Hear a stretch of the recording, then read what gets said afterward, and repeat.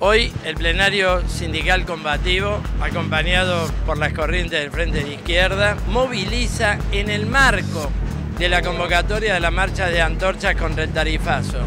Venimos con un planteo concreto y por eso una columna independiente. Paro activo de 36 horas para derrotar el ajuste. Nosotros adoptamos el método de Interpac. Tenemos que frenar los tarifazos, los despidos y luchar por nuestro salario. En este momento les quiero comentar que si bien hemos acatado la conciliación obligatoria, la planta se encuentra casi semi parada. En asamblea hemos decidido no suplantar a los compañeros que están despedidos, no vamos a permitir la polifunción en nuestra planta y seguimos obviamente peleando porque nuestros 11 compañeros ingresen a planta. El movimiento obrero no necesita hoy prender ninguna vela ni levantar ninguna antorcha, que las centrales deben convocar es un paro de 36 horas y la huelga general porque entendemos que es el único y el verdadero camino para poder enfrentar, también para poder derrotar este ajuste tremendo que está llevando Macri con los gobernadores de las provincias en lo que respecta al tarifazo, en lo que respecta respecta a la inflación. La necesidad de accionar que tiene el movimiento obrero es tan grande que tenemos que ir a estos llamados que realmente entendemos que son inocuos, que nos llevan a tener una continuidad para derrotar este ajuste. Tenemos que salir a accionar en este momento. Las centrales sindicales entendemos que están haciendo un papel totalmente patético.